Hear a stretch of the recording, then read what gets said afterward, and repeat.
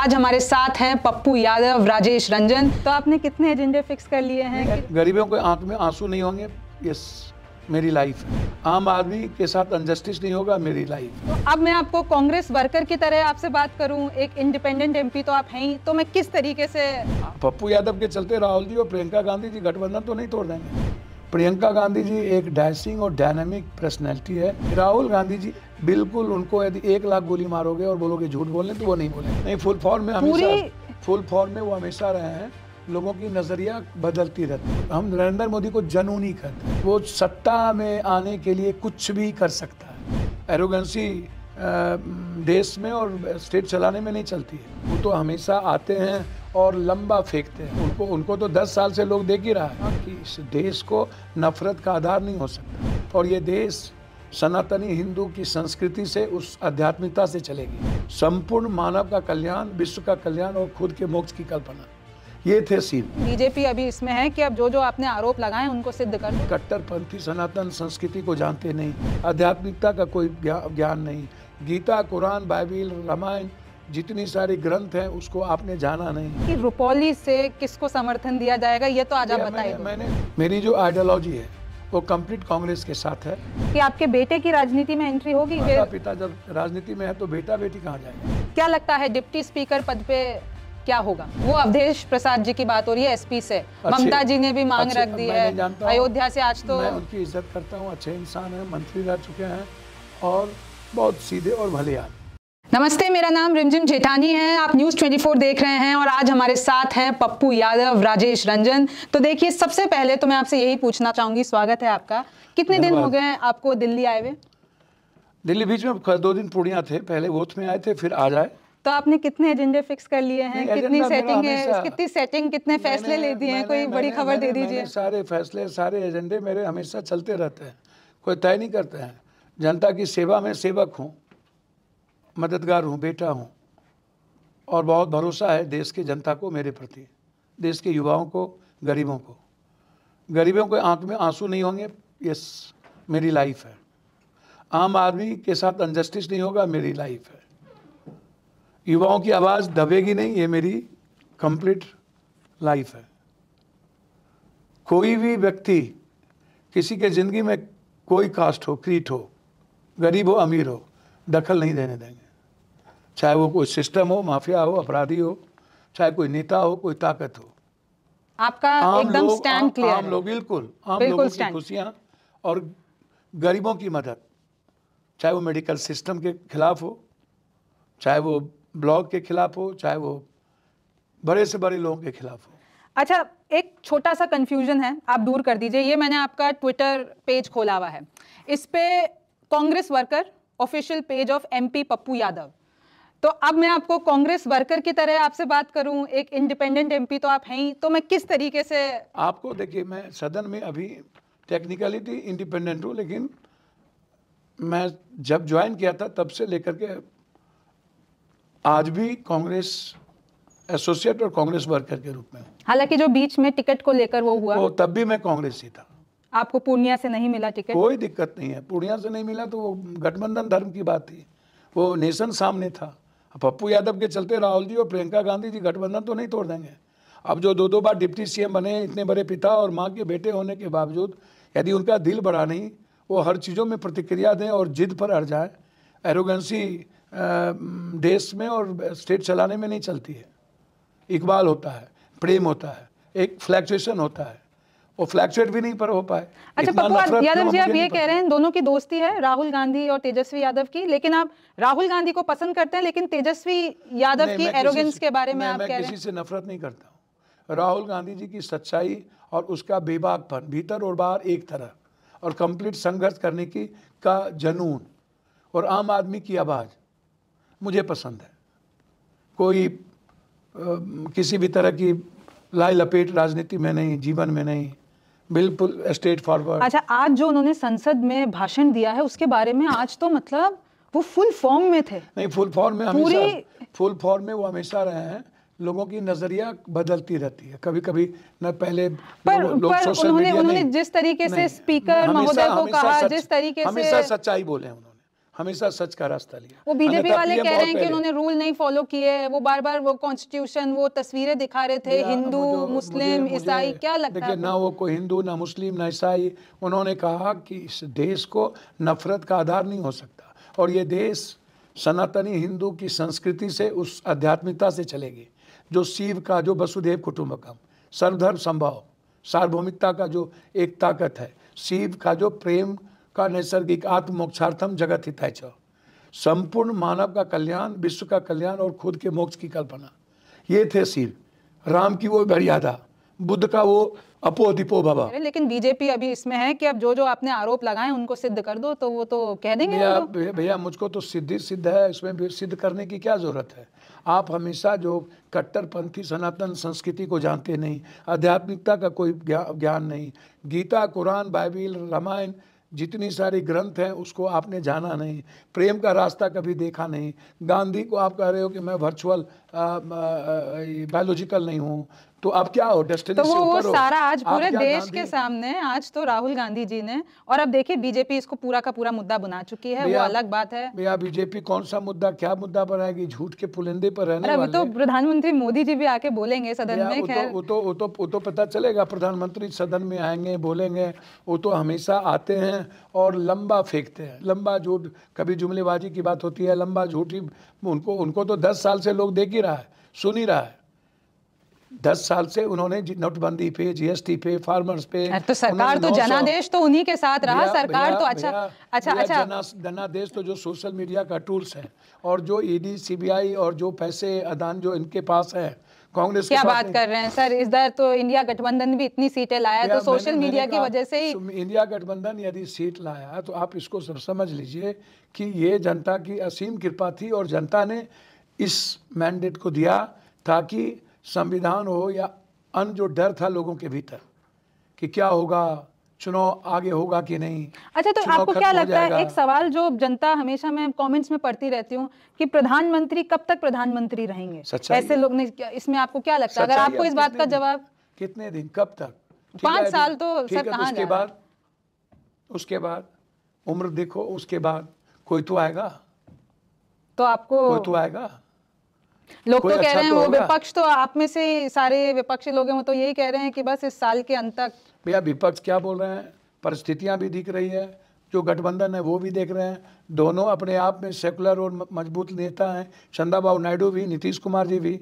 यदि अब- नीतीश कुमार के मन में क्या चलता है? वो तो- पप्पू तो- यादव जी कैसे बताएँ? वो 2025 में उधर चले गए तो आपको क्या लगता है? मुझे नीतीश कुमार जी के मन में जो चलता है बहुत ही बहुत ही हार्ड है ये गैस कर पाना। उठा के देखिए अभी विशेष राज्य की दर्जा की बात उन्होंने अच्छा उस पे तो आप उनको समर्थन करेंगे विशेष राज्य पे? क्योंकि वो आप भी चाहते हैं और उन्होंने अपने जेडीयू की जो सदन में आएगा तो निश्चित करेंगे हम ही तो मेरा ही तो मुद्दा बिल्कुल मैं तो आपके वही कह रही हूँ तो इसमें तो आपका उनका पूरा समर्थन और जो आप कहते हैं अच्छा ये कितना बढ़िया फैसला है संजय झा जी को कमान दे देना। देखिए क्या मैं दूसरे पार्टी का प्रवक्ता तो हूँ नहीं। हमें किसी के फैसले अरे पर आप एक दूसरे के मूव्स को देखते तो होंगे तौलते तो होंगे। नीतीश कुमार सीएम है वहाँ के तो नीतीश सामने वाले का गेम समझने की कोशिश तो करते होंगे। इतना जानता हूँ कि नीतीश कुमार जी को के अपने तरीके हैं अन्य स्टेट को देखना क्योंकि वो बिहार देखते हैं तो उसमें नीतीश कुमार जी ही ऑल इन ऑल है।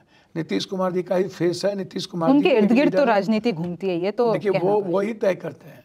नीतीश कुमार जी कुछ पदाधिकारी हैं एक दो नेता हैं वही तय करते हैं। अच्छा अभी हाल ही में आपकी खड़गे जी और प्रियंका जी से मुलाकात हुई थी। तो होती रहती जी है, अभी अभी अभी आप दिल्ली आए आपके किसी से मुलाकात हुई है? बिल्कुल होती है होती अच्छा, तो क्या- क्या बातचीत अभी- डेवलपमेंट के लिए हम पीएम से भी मिलेंगे होम मिनिस्टर से नितिन गडकरी से भी आप मिले हैं। मिले हैं। आज हम जा रहे हैं मिलने के लिए। अच्छा एक और बड़ा सवाल है मैंने अभी पूरे सोशल मीडिया पे जब मैं आपके बारे में सर्च कर रही थी कि रुपौली से किसको समर्थन दिया जाएगा ये तो आज आप बताइए मैंने, मैंने कोई आपने मिल लिया है बीमा भारती जी से आपकी मुलाकात हुई बीमा है जी बेटी के तरह घर आई वो हमेशा आती रही हैं।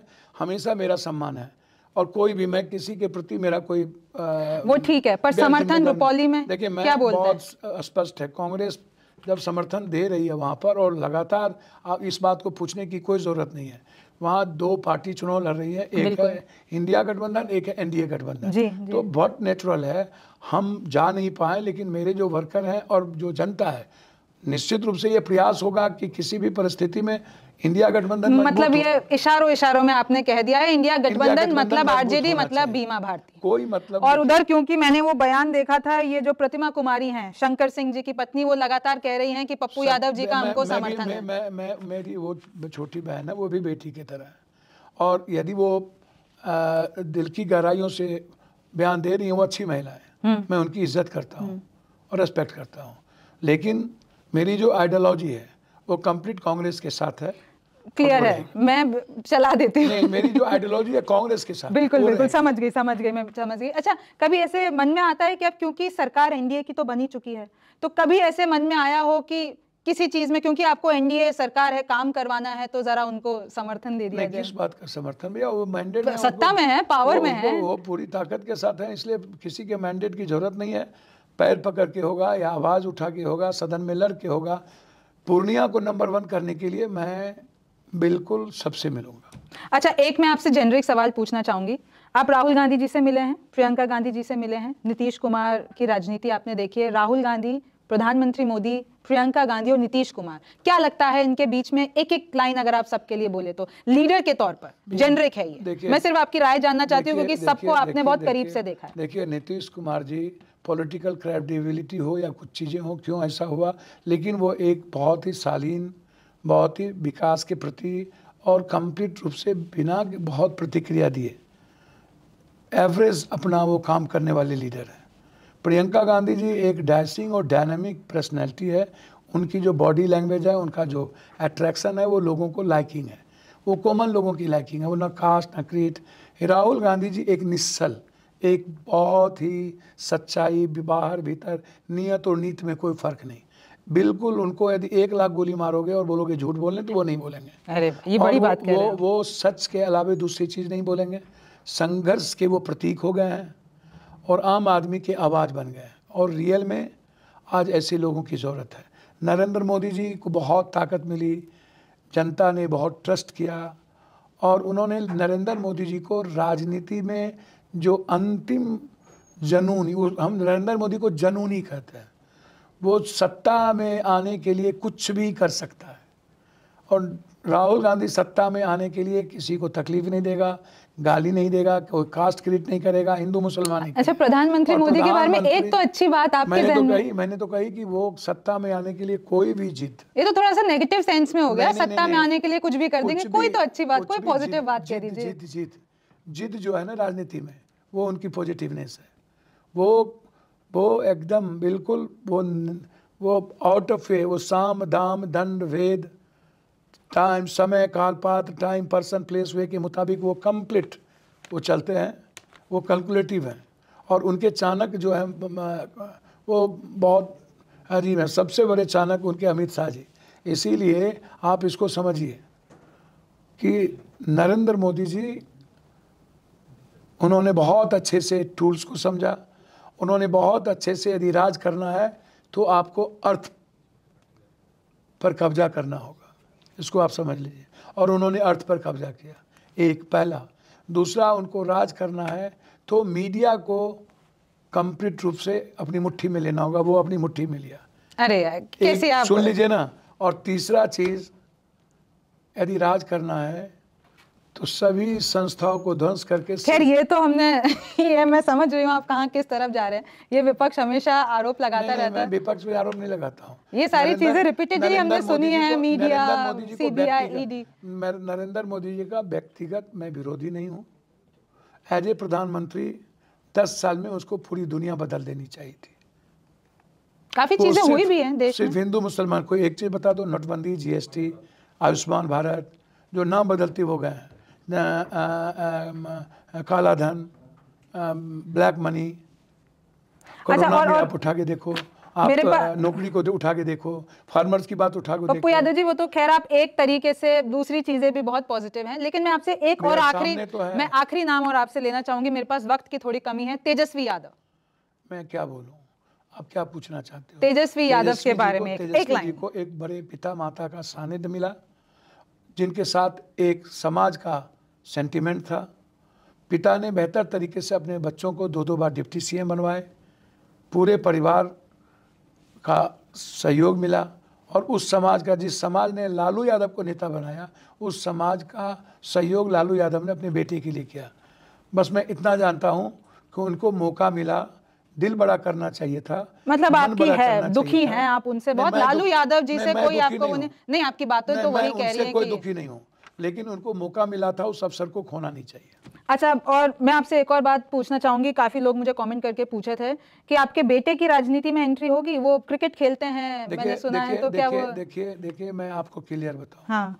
यदि कोई मेडिकल डॉक्टर का बेटा डॉक्टर यदि वो हाँ। संघर्ष करेगा हम्म।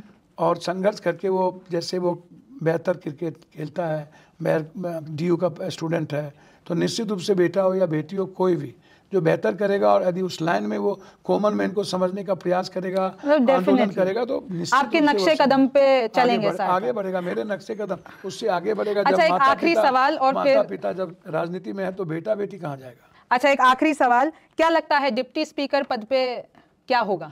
देखिए उसमें मैं ना तीन में हूँ ना तेरह में हूँ। हाँ। निर्णय लीडर को लेने हैं। हाँ। लीडर का जो निर्णय होगा सबको निर्णय आपकी पर्सनल मंशा क्या है? क्या मेरी- लगता है मैं पर्सनल मंशा इसमें क्यों बोलूँ? जब मैं एसोसिएट भाई सांसद हैं आप अगर आपको चुनने को कहा जाएगा बड़े गठबंधन के नेता आपसे राय ली जाएगी तो आप कुछ तो बोलेंगे। हमसे राय ली जाएगी तो हम ज़रूर कहेंगे हाँ। एक बहुत ही परिपक्व वैचारिक और बहुत सादगी वाले नेता की ज़रूरत है। और किस पार्टी से होगा ये सादगी वाला नेता? मैं देखिए पार्टी गठबंधन तय करना है उसमें पप्पू यादव को कुछ नहीं बोलना है। वो अवधेश प्रसाद जी की बात हो रही है एसपी से। ममता जी ने भी मांग रख दी है। अयोध्या से आज तो मैं उनकी इज़्ज़त करता हूँ अच्छे इंसान है मंत्री रह चुके हैं और बहुत सीधे और भले आदमी हैं। हम्म। बस। चलिए Pappu Yadav ji thank you so much हमें वक्त देने के लिए। शुक्रिया। आप न्यूज़ नमस्कार। 24 देख रहे थे मैं हूँ रिमझिम जेठानी फिर मुलाकात होगी। नमस्कार, मैं हूँ मानक गुप्ता।